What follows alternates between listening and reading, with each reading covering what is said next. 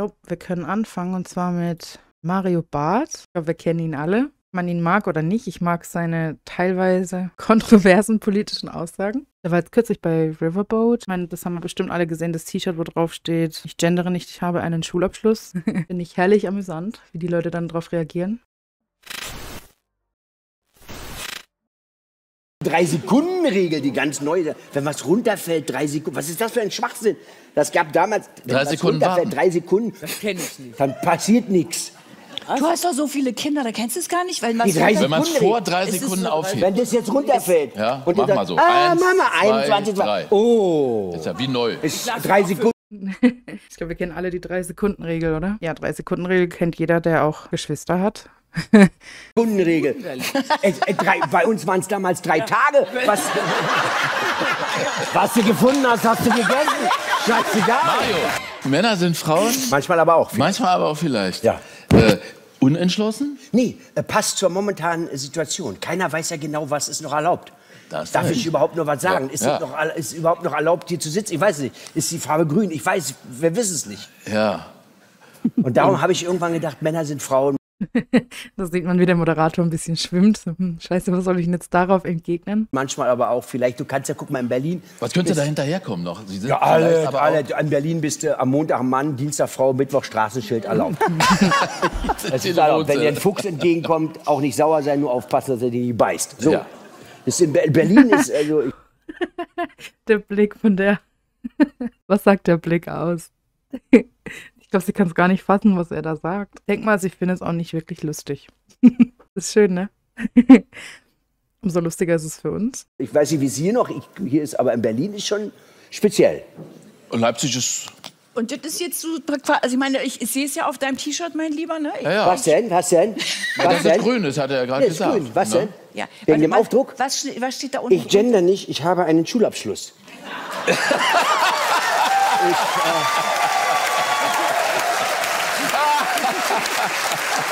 ist das, ich weiß,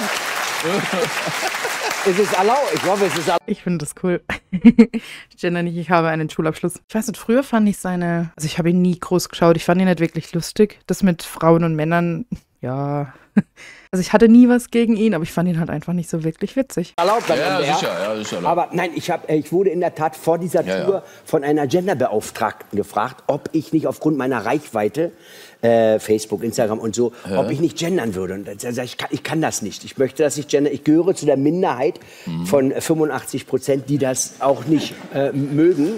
Und äh, Also, man sieht auch, er hat sich Gedanken gemacht. Also, er kennt zumindest diese Studie. Ich meine, die war vom WDR. Unter anderem über 80 Prozent der Deutschen sind einfach gegen das Gendern. Ja, ich meine, er war ziemlich erfolgreich. Er hatte ganze Stadien gefüllt mit, auch mit seinem Wörterbuch Mann, nee, Deutsch, Frau, Frau, Deutsch war das doch, oder?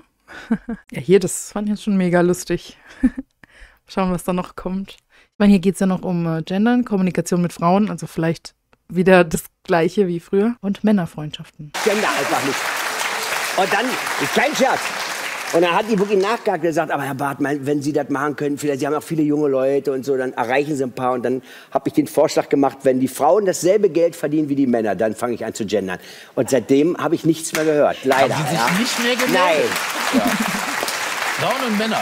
ja, Dein Thema, Thema. dein, dein Dauerthema. Und Ja. das ist wunderbar. Und ich, ich muss wirklich selber an mir feststellen, wenn meine Frau sich äh, aus der, jetzt muss ich aufpassen mit den Etagen, also aus der ersten Etage mit mir viele unterhalten Etagen ihr habe ich auch gerade überlegt. Ja, Also 300, eigentlich egal, 200. schön, bitte. wir sind prominent, wir sind international Ja. anerkannte Ja. Superstars, wir haben äh, Riesenhäuser. Zum ja. Beispiel. Also wenn die sich dann so meldet, äh, Ja, dann möchte sie mir etwas Auch noch per, sagen. per Sprache. Sie möchte mir etwas sagen und möchte gerne mit mir sprechen. Und, äh, und ich bin also ganz woanders, ich höre sie eigentlich nicht.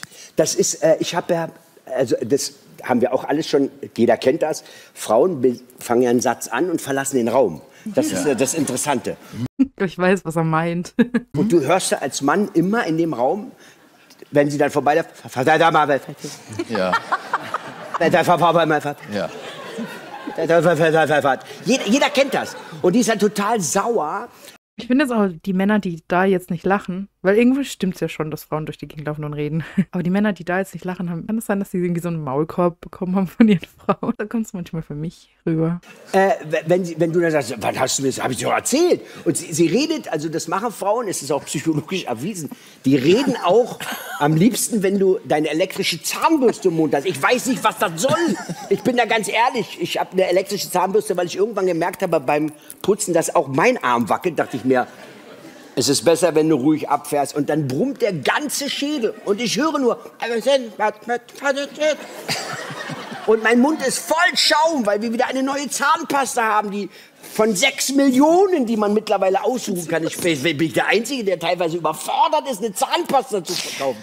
Und dann schäumt das und sie erwartet eine Antwort. Ich denke, was soll das? Und sie erweitert einfach nochmal, dass ich das irgendwann ausspucke und sage, was willst du? Ich verstehe nichts. So, und das ist, äh, Frauen kommunizieren so, auch wenn du duscht. Schon mal aufgefallen? Oh ja, wenn man duscht, dann hört man nichts. Also ich weiß ja nicht, es sind nicht alle Frauen so. Ich kenne das von mir, ich bin da nicht so. Ich glaube nicht ganz so viel. ja, das Vocal Brainwashing geht auf die Kronjuwelen und schaltet das Testosteron ab. Das kann durchaus sein. Du brauchst ja heute eine Rain Shower. Kannst ja nicht nur eine normale Dusche haben. Stimmt. Brauchst du eine, wenn du hip bist, brauchst du Rain Shower. Okay. Ja, und dann ist sie ja von, ich habe ja auch so ein Riesenhaus wie du, acht Meter Deckenhöhe, fällt also dieser Wasserfall auf mein etwas schütteres Haar und es, es plätschert. Jeder, der schon mal unter einem Wasserfall geduscht hat, kennt das. Und es plätschert, es ist einfach laut. Und sie redet in zwei Räumen weiter. Mario, Ellen, Ahmed. Und ich denke, und ich sag, was?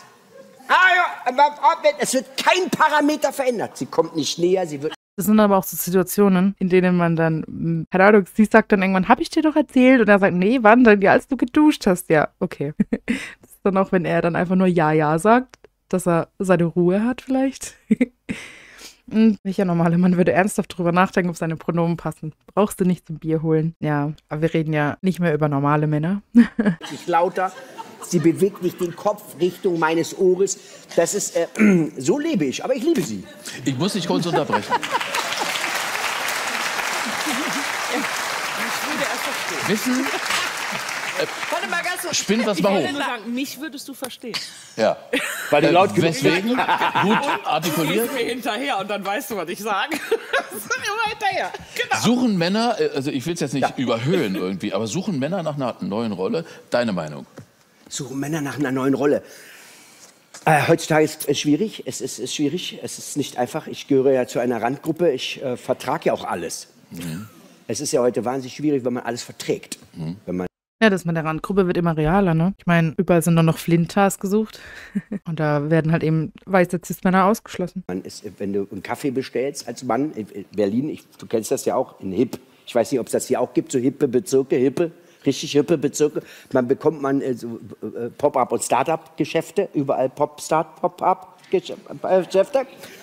Und wenn du da rein, nee, ist das, ich komme mir alt vor, wenn du reinkommst und willst einen frisch gepressten O-Saft und es steht dann einer da, ein Mann mit so, mit so einem ba der, der länger im Badezimmer brauchte als seine Freunde, 100 Prozent, steht da und sagt, ah, haben wir leider nur O-Saft, haben wir nur mit Ingwer und Sprosse. Oh mein Gott. Ursaft haben wir nur mit Ingwer und Sprosse.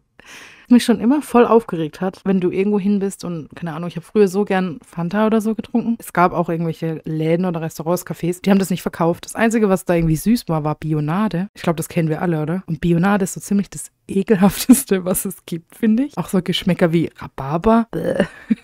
Ich jetzt gerade daran erinnert. Meine Liebe zu Bionade. Und ich sage, ich möchte, ich möchte gar kein Ingwer und Sprosse, ich möchte nur einen O-Saft. Da, sorry, aber äh, da haben wir leider äh, nur also mit Ingwer und Sprosse.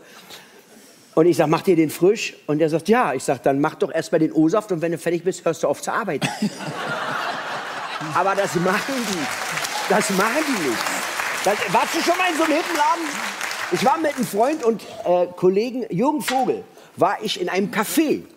Der wohnt ja da, wo man so hip wohnt, so Mitte und so wohnt man so, weil man so hip ist, ja. Und da waren wir im Café. Wollte ich ein Karamell Macchiato bestellen. Ist eine wahre Geschichte, habe ich Ein in meinem Karamell Programm drinne. Ein was? Wer trinkt denn Karamell Macchiato?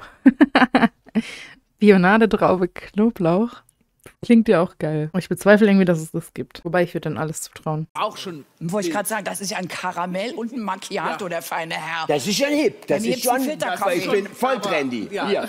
Ja. Jetzt steht der mir gegenüber und guckt mich weiter an. Und das bewegt sich null. Und ich denke, habe ich was falsch? Ich habe was falsch gesagt. Irgendein Triggerwort. Ich war Mac, vielleicht Maca Macchiato und ich hatte schlechte Erfahrungen mit Macchiato. Ich habe vergessen, eine Triggerwarnung vorher rauszusetzen. Ich weiß es nicht. Und dachte mir, es ist Pop- Pop- Pop-up international, Englisch. Aber Karamell Macchiato auf Englisch ist Karamell Macchiato. Man sagt, man muss ein bisschen nuscheln, aber ansonsten ist es dasselbe. Und ich sage, listen to me, buddy. I would like. Und er sagt, ich habe Sie verstanden, aber welche Milch wollen Sie haben? Wollen Sie Sojamilch, Mandelmilch? Und ich gucke den an und sage, hast du Kuh? Also ich weiß nicht. Ich habe schon Videos gesehen aus den USA, dass es das gibt, dass die halt nach der Milch fragen. Da gibt es ja, was weiß ich, Fettarme, Fettlose. was ist das noch alles? Mandel, Soja, Kokos, keine Ahnung. Aber dass es bei uns auch schon so ein krasser Trend ist, war mir irgendwie nicht bewusst. Bruder. Und er war völlig überrascht. Er sagt, Sie vertragen Laktose? Und ich ja. Sie vertragen Laktose? Ich sage, brauche ich dafür einen Schein? Ich, brauche, ich vertrage Laktose. Und dann sagen, ich habe wirklich nichts gegen laktoseintolerante Menschen, aber die sagen einmal dann immer, was sie haben. Die sagen, ey, wenn ich Laktose zu mir nehme, krieg ich ganz flüssigen Durchfall. Jetzt habe ich gerade Karamell Macchiato bestellt. Er erzählt mir vom flüssigen Durchfall. Mir wird schlecht. Ich sag, mach den Kaffee dunkler. Mach einen Double Shot, Dark Roast rein. Guckt er mich an und Ja, das ist auch so ein Thema. Alle sind gegen irgendwas allergisch. Hat jemand von euch Laktoseintoleranz oder was ist noch so in Gluten? Gibt ja Menschen, die das ganz krass haben, also beides. Nicht zusammen, aber, aber die meisten sind einfach so Trendsetter und sagen, ja, ich habe auch Laktose. Äh, Ich habe Fettarme. Ja, sieht auch echt scheiße aus. Die Milch bitte. Und der ist auch schon alt, aber der ist immer wieder gut. sagt, da ist Gluten drin. Ich sag, mach einen Löffel Gluten mit rein. Du verdrehst Gluten. Ich sag, ich vertrag Gluten. Ich vertrag kein Gluten. Krieg starke Blähung. Ich sag, dann schäum damit meine Milch auf. Ich brauch mein Macchiato. Und oben machst du Kakao. War der völlig ver... Das kann Spuren von Nüssen enthalten. Ich sag, ja. Sie vertragen Nüsse. Ich sag, mach eine Tüte Studentenfutter rein in den Kaffee. Ich vertrage alles. Und dann... Und Jürgen, Jürgen, Jür- Jürgen steht neben mir und denkt, was ist denn hier? Ich sage, ich weiß es nicht. Und dann guckt er mich an und war total überrascht, als wenn ich so, als wenn ich gerade aus dem UFO ausgestiegen bin. Und dann sagt er, warum vertragen Sie alles? Und dann sage ich, ich bin eine andere Generation. Du bist Generation Feuchttücher, ich nicht. Da war gerade auch noch einmal so ein Problempony im Publikum, was nicht gelacht hat. Ich finde mal so nochmal. Hier, die findet das natürlich nicht so lustig. Du bist Generation Feuchttücher, ich nicht. Feuchttücher gab's bei uns nicht. Feuchttücher waren Taschentücher von der Oma, die seit, seit, seit sechs, so, die haben reingespuckt. Diese alte Spucke auf so einem Taschentuch in der Handtasche, wo auch schon Kekse und ein bisschen Zucker Alles, dran war. alles drin. Weil Oma hat alles eingepackt im Kaffee. Zucker, nimmt die nicht. Wer weiß, für was. das- Meine Oma, ich hab sie sehr geliebt. Alles. Und da hat die so reingerotzt und dieser bittere. Auch diese Drei-Sekunden-Regel, die ganz neu ist. Wenn was runterfällt, drei Sekunden. Was ist das für ein Schwachsinn? Das gab damals. Wenn Drei was Sekunden runterfällt, warten. drei Sekunden. Das kenne ich nicht. Dann passiert nichts. Du hast doch so viele Kinder, da kennst du es gar nicht, weil man Die drei wenn man es Sekunden vor drei Es ist Sekunden Du bist auf dem Bauernhof aufgewachsen, Regel Nummer eins, wenn sich's bewegt, kannst du es essen. Zum Beispiel, was war das, was war das Lustigste, was du da gegessen hast? Ja, ich verstehe die Frauen mit diesem geraden Pony nicht. Das sieht nicht schön aus. Welcher Mann mag das? Welche Frau mag das? Absolut nicht nachvollziehbar. aufheben. Wenn das jetzt runterfällt. Ja, und mach mal so. Ah, Eins, Mama, zwei, 21, drei. Oh. Ist ja wie neu. Ist drei Sekunden Regel. Äh, äh, drei, bei uns waren es damals drei Tage. Was, was du gefunden hast, hast du gegessen.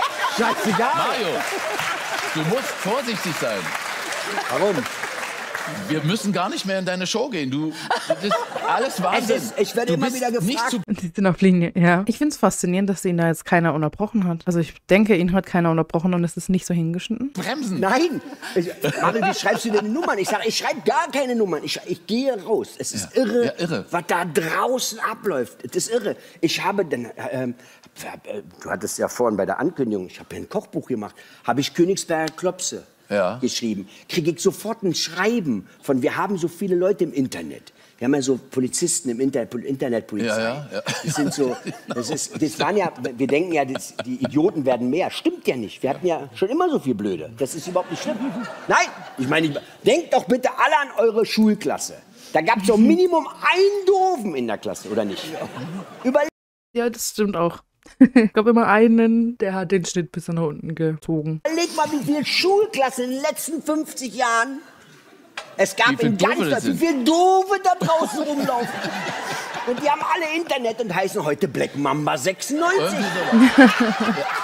Das sind diese Typen. Das Sakrotankind, ich weiß nicht, ich hatte einer in der Klasse, der hat in Kunst, also der hat irgendwie immer so komisch genießt, ohne sich halt die Hand vor den Mund zu halten oder so. Und der hat in Kunst immer auf seine Bilder genießt. Ich fand das so ekelhaft. Ich finde es heute zwar noch lustig, aber echt ekelhaft. Und die schreiben dann. Das ist irgendeiner. Äh, Männerfreundschaften. Ja. Äh, du hast ihn gerade erwähnt, Jürgen Vogel. Ja. Der hat dir mal eine SMS geschickt, äh, die du nicht kommunizieren konntest. Äh, deiner Freundin, Frau, auch immer, welches Wesen es ist. Na, pass auf. Meine Freunde, die gibt's ja wirklich. Es ist, ich schreibe, äh, ich werde immer gefragt, wie lange machst du denn das noch?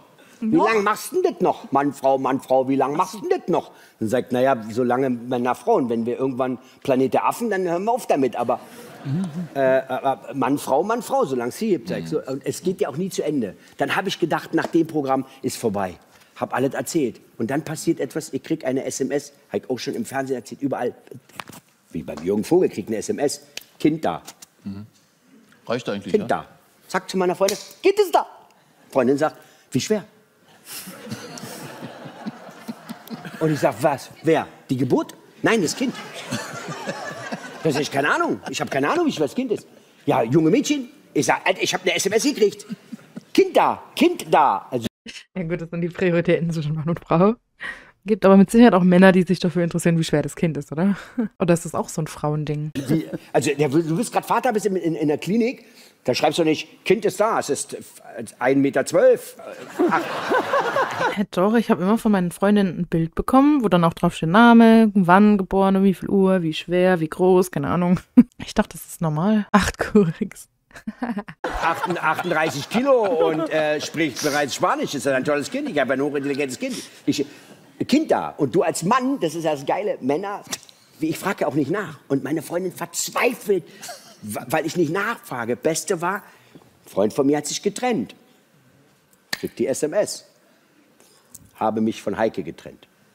Sage zu meiner Ja, ich glaube auch, dass Männer da ein bisschen, wie nennt man das, effizienter in solchen Dingen sind. Also ich meine, eine SMS mit Kind, da reicht ja völlig aus. Die Information wurde überbracht. Brauchst jetzt nicht hier äh, fünf Seiten WhatsApp-Nachricht, das stimmt schon. meiner Freundin, Carsten hat sich von Heike getrennt. Also die haben, der hat eine SMS von Carsten gekriegt, hat sich von Heike getrennt. Warum? Warum haben die sich getrennt? Sag ich, ich habe keine Ahnung, ich weiß es nicht. Ich habe die SMS gekriegt äh, von Carsten, äh, Heike und ich haben uns getrennt. Echt? Da hat er sie betrogen? Ich sag, ich weiß, ich weiß es nicht, ob er sie betrogen Ja, aber gut, bei einer Trennung interessiert mich dann schon, was da war. Aber das will man doch auch nicht in der SMS oder in der Nachricht allgemein schreiben, nicht mal am Telefon. Das hat man sich eigentlich persönlich erzählen, oder? hat. Dann hat er sie betrogen. Dann hat er sie betrogen. Oh, geile Kombination. Dann hat er sie betrogen. Ich, ich weiß, Schatz, ich weiß es doch gar nicht. Weil, aber wenn, wenn er sie betrogen hat, kriegt sie dann das Haus. Dann sag ich, ich weiß nicht, ob sie das Haus kriegt. Ich, sage, ich, hab- ich habe eine SMS bekommen von Carsten in der Drische. Ich und Heike haben uns getrennt. Da steht da nicht drin. Und es war so, dass sie mich irgendwann anbrüllt hat und gedacht, was weißt du überhaupt? Und ich sage, ich habe eine SMS bekommen. Da steht drin, ich und Heike haben uns getrennt. Wo soll ich die Antworten hernehmen? Wir drehen es mal um. Ja. Nicht Trennung, sondern Hochzeit. Du warst. Äh, Ich, hab, du ich war warst ganz ein- schwer jetzt gerade. du- Was ist mit... Du irre, hier hörst du nichts. Du willst auch irgendwann mal, du musst doch mal unter Bitte? die Haube, Junge. Du bist ja im irre. Man Alter. hört hier nichts. Es ist ja, man Der ist Ton- ein toter Raum. Äh, ganz, oh, jetzt ist ja die Plätze noch runter. Jetzt die Brille rüber. 21, 22, 23. Hm, Das war's. So, was haben wir gelernt? Ich dachte nicht, da kommt mehr was Gendern und er nimmt sein Publikum da so ein bisschen mit und ärgert die Mitanwesenden. kam es leider nichts mehr. Schade. Wurden wir richtig schön angeteasert und dann kam nichts dabei rum. Na toll.